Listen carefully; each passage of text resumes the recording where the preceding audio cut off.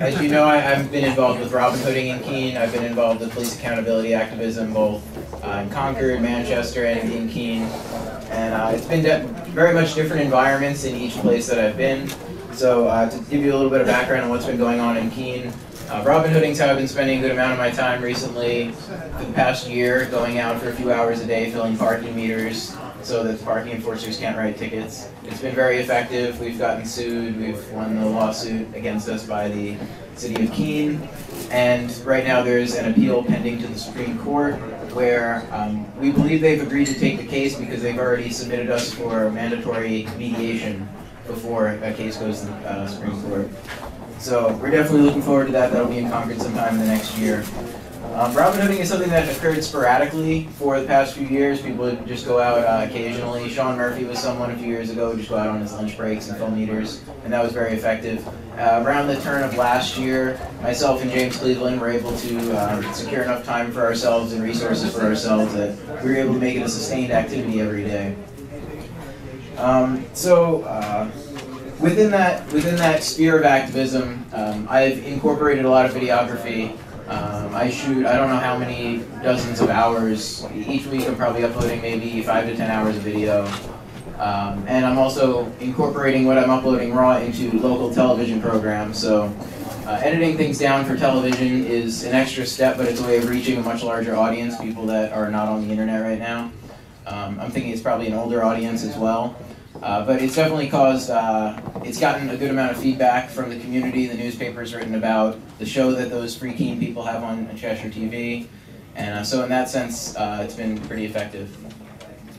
Um, one of the challenges here in New Hampshire that uh, and you don't have in other states is when I was traveling around with the Police Accountability Tour recently, we were in states where there was only uh, one-party consent for recording, which is how most of the United States is. Unfortunately, there's about 14 states, New Hampshire being one of them, where you're supposed to have two-party consent for audio recording. That drastically uh, cuts back and puts a chilling effect on a lot of journalism, on a lot of uh, investigative reporting, because you can't go into situations making objective records of things. You're supposed to, I guess, have a good memory and write these things down, where these states uh, have laws against recording. Um, so that's something we face here. Uh, some of you may have heard my camera was stolen from me for two months because I was accused of having recorded a meeting with a public official. Here in Concord, there was someone whose whole house got tossed because he was accused of recording a meeting with a public official. Uh, fortunately for me, they didn't enter my home. They waited to snatch me outside of it when I only had a camera on me. Um, but the, the wiretapping laws that currently exist in the state enable the police to go after people who are accused of recording in very ambiguous situations. Unfortunately, out in public, walking around on the sidewalk, um, none of that has ever been called into question. But uh, yeah, other sorts of recording can get you into legal issues. So be careful of that. Um, I'd say document everything, record everything, and uh, be strategic about how you release it. Quick Even question. if you're in public, you're still supposed to tell the cop you're recording him, right? Is that the kind of law, or can you? I don't believe that. Okay, is that enough? Well, are you gonna get arrested yeah. If they took action on against you in public, there's a good chance you've got uh, a settlement waiting for you at the end of some legal process. So um, for what that's worth. Where someone has an expectation of privacy is where that law applies. Another question for you. When they seize a camera, do they convict you of something first before they seize it, or how no, do they seize it? That was part of an investigation. They were investigating alleged wiretapping. Whether or not they actually had probable cause is something we'll find out um, when the lawyer who's interested in taking that case forward brings it, uh, brings something up civilly. Um, so uh, yeah, the Robin Hood case is pending appeal to the Supreme Court, and the case of my camera getting stolen, we plan to take action on that. Uh, there is a lawyer interested sometime in the near future. Um, so uh, the different ways of, of doing media, when you're uploading lots of raw footage, uh, you're expo- you have to be very conscious of obviously you're walking around, um, you're catching yourself just in normal conversations with all sorts of people. I see why there's a, where there's not too many people that are doing the practice of just uploading everything and uh, putting more of it out there. Um, most of what I'm putting out, of course, isn't getting viewed. It's, it's most of it's irrelevant. It's just stuff I'm shooting throughout the day. But of course, as the Robin Hood case develops, as different things uh, develop, you may find that that footage is useful in in the future.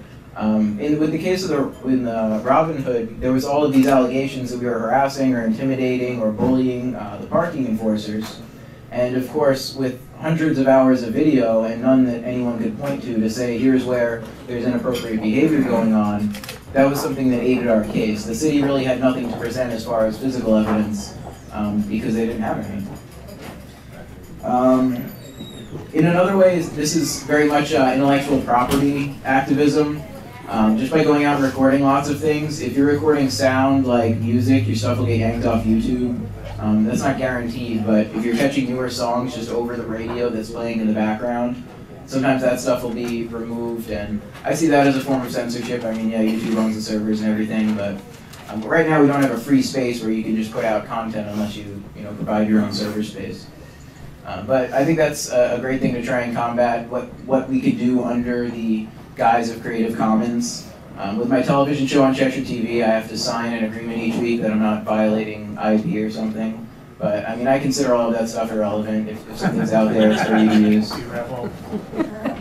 And so, um, yeah, that's, that's an important issue I think to push forward. Is just that you can use something if it's out there, and yeah, like people, they may try and take legal action uh, against blogs for posting pictures or, um, but anything. Uh, I haven't faced any legal issues with that. I mean, I guess there were some people that wanted to report us to Disney because we have a picture of Disney's cartoon Robin Hood from the 70s on the cards. And uh, I haven't heard of any action from them. I only think that would top the action from the city if we did actually get sued by Disney. um, so yeah, there's a number of places where the different uh, content I've been putting out is. I try and focus on different YouTube channels, have different types of content. Um, so listed up here, Freeman TV Raw. That's where all of the content that I shoot gets uploaded. Derrick J actually created that channel initially to put up his raw content. Um, I believe he has another one now that he's been using more, and like I said, kind of co-opted that one. Uh, but uh, Free Concord TV, that one's been around a lot longer. That's a little bit more journalism type activism videos. Uh, those ones are a little bit more serious usually. And the Aqua Keene channel is where I'm putting more of the artistic, creative content that uh, skirts the IP laws a lot more. And um, yeah, I think uh, in doing, I think it's important that we do more video. I mean, um, a lot of us have video cameras or carrying them with us, but how many instances have there been where there have been interactions with police and because we didn't have it charged at that time or didn't have space left on the camera at that time that people have run into issues. So using multiple devices, having multiple devices on you at every time and just having that be a daily habit is something that I think is going to uh, improve a whole lot and expose a lot more that isn't being caught right now. I have a question. Um, if someone is going to film the police, like say I'm by myself and I, I have a cam, I'm just supposed to point the camera at him while he writes me a speeding ticket, or, um, you know, how does that work? Well, that's why multiple devices are great to have. For every device you have, it's like having another witness. It's like having, it's, it's even better than having a witness, because witnesses are fallible. The objective record can't be questioned. So that's why I advocate carrying multiple devices. If your cell phone can uh, live stream, that's even better.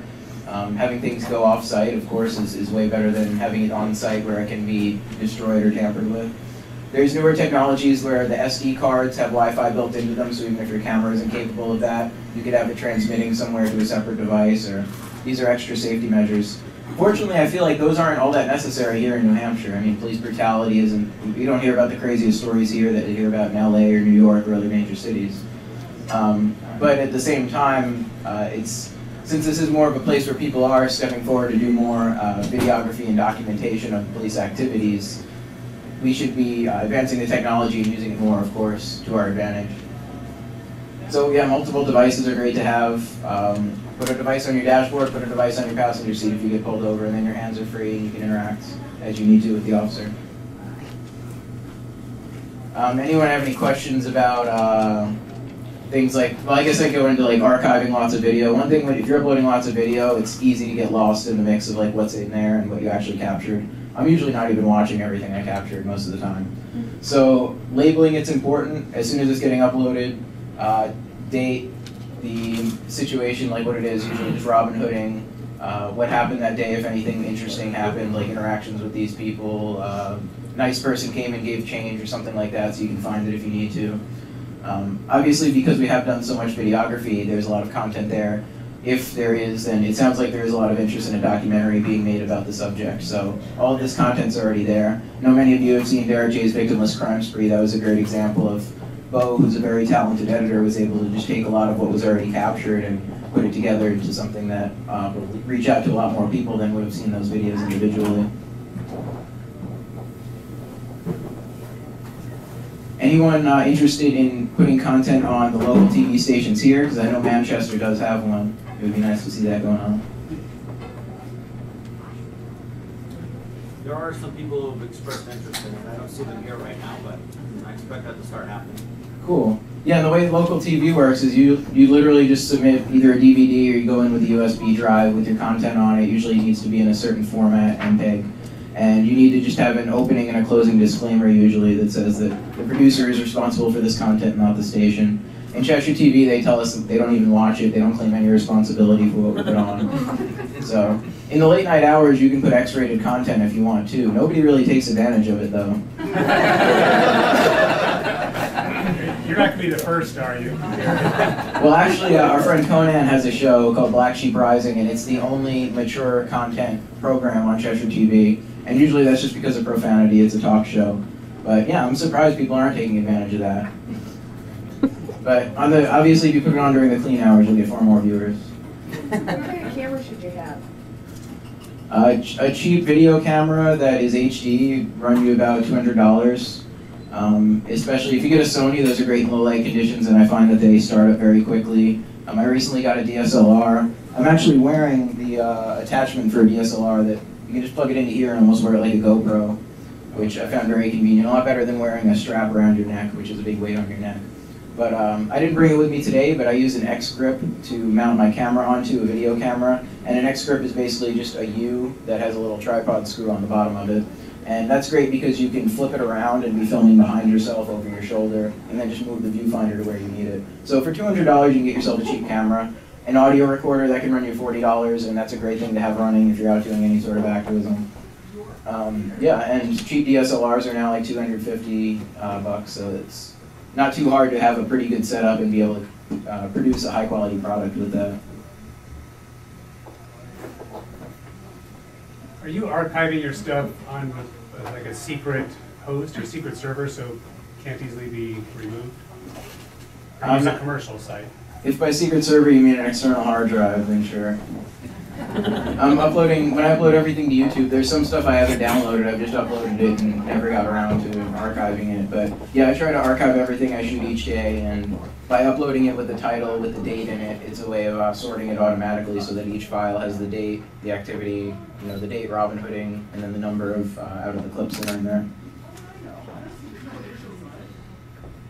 Yeah, other than YouTube, um, YouTube seems the most accessible. I guess there's Live Leak. Uh, Live Leak. Blip is also pretty popular, and they don't censor stuff. They won't take it down. I don't think. Um, IP is something that they run into though with like Hollywood movies or uh, popular music. Of course, you may get attacked in that way. But yeah, there's no other uh, questions, uh, if anyone has interest in hearing more about Robin Hooding or trying to do it here, I got some extra cards with me, and also the flyers that we leave on people's windshields when they get a ticket.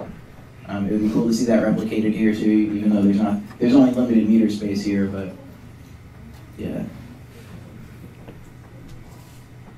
Oh, and there's a new system in Keene too. I guess uh, Manchester may have something similar, or maybe getting it soon. But we still have parking meters. There's limited places that have kiosks, but recently they tried out, or they're trying out, a new electronic payment system where the parking enforcers have smartphones, and in a zone, one ha- signs up with an account and a credit card ahead of time, and they can fill their uh, space remotely with their phone. And I guess one of the issues with it is if you're parked in a space where there's no time limit, where you can park for more than two hours, that's not so much of an issue. But now that they have this technology, they're using it to cite people for two-hour violations. Um, so if you're parked in one of these zones, you can fill up for two hours, and they'll know that you had been there just two hours, as opposed to if you filled up the meter and they weren't keeping track. So it's a new way for them to ticket people, and they think that it'll say, uh, make the, us double spend, and we will in some instances where it looks like a meter is empty, but we're putting change in it. In Boston, they've always done that by marking your wheel with chalk, and uh, they'll just do their two-hour lap and see if you know the chalk hasn't moved, and they'll give you the ticket. So, Yeah, there was a short period of time when some Robin Hooders were taking it upon themselves to remove some chalk from tires, remove some graffiti. Um, but we were very nicely presented with a New Hampshire statute that I believe was called like falsifying evidence, and it was uh, pretty much like interfering with a police investigation. And they were like, "This is a felony, just so you know. Like, you're not allowed to do that." I thought it was nice of them not to arrest us. I think that says something about our rapport with the Keene PD.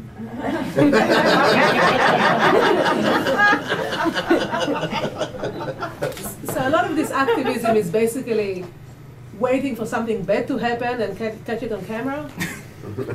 I think that's what a lot of people expect of when you go out and film the police, that you're looking for some sort of brutality. And sure, in many places across the country, you could find it if you just go out with a camera in certain neighborhoods. But I mean, that's not really the case in Keene that you're likely to just catch something uh, strolling around. We've been out so often that they've come to expect that people are filming them. It seems like just about all the time. And it's made an impact. But here in Manchester, of course, that's very different. I was arrested here in Manchester a few years ago with the Chalking 8 arrests. And that was, you know, there were people with cameras out, but they still made uh, blatantly illegal arrests, just rounding people up for being at a protest. Uh, so when I'm out in Keene, I'm not expecting something bad to happen that I'm going to catch. I'm more just documenting and um, trying to create something out of that as opposed to expecting something to just be created in front of me. So, I mean, it, it really depends what you're looking for and what you can expect to find in the community you're, you're in at the time. So, if I remember correctly, when you guys chalked the sidewalk, they arrested people and said that was graffiti. Yep. Uh, That that somehow the chalk was damaging to the sidewalk was the argument that they made, but then at the same time, they actually chalked people's private property. Yes, and it would be illegal for the property owner of the uh, vehicle to remove the chalk as well. They said if somebody came out and removed the chalk from their own car, they could also be charged with a felony. Wow, ridiculous. But yeah, Uh, can you talk about that, uh, one party versus two party consent again? yeah. One party consent means that if you're in any situation, you're allowed to record it because you know you're recording it. And if a third party would be recording it, that would be considered wiretapping or someone eavesdropping. So right now, New Hampshire is a two-party consent state, which means that if you're in an instance where someone may believe they have privacy, I guess this would apply mostly to private residences. There's a question as to whether or not it applies to businesses. If somebody is, uh, if you're recording a private conversation with someone in a particular place, um, and they're under the expectation that they may not be recorded, I mean, but what does that mean nowadays? Because it's so easy to be recorded by so many different devices that how could one possibly be like is if one's cell phone is being intercepted by a third party and used to record, is that person also guilty of wiretapping? Under the New Hampshire law, you kind of are, because anybody who endeavors to intercept a communication um, is guilty. Except the Right. They're operating outside of New Hampshire, so I guess they, they're outside of the jurisdiction. Um, but this also brings into question newer technologies like recording devices or listening devices that are capable of hearing it at long distances. I guess people use these for hunting. Um, so there's totally legitimate purposes, uh, like non-spying on people in their homes and stuff, uh, or just hearing people from afar. It seems interesting that one could just hear a conversation down the street.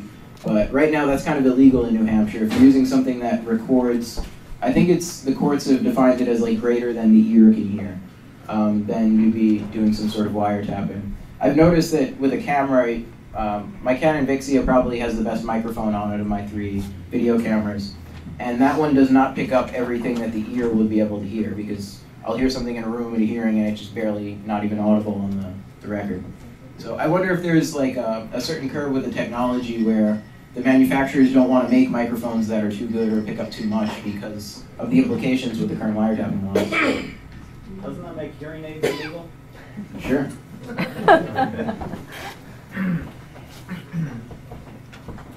Yeah.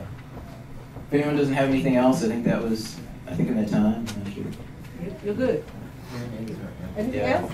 Um, yeah, check out the videos. Um, some are not related to parking enforcement. You may have seen the Maggie Hassan vodka commercial. That was one of my productions. Pretty proud of how that came out. And yeah, I'd love to see more spoof stuff. And uh, they give us so much stupidness every day, so we might as well take advantage of it and use it. On. Thanks.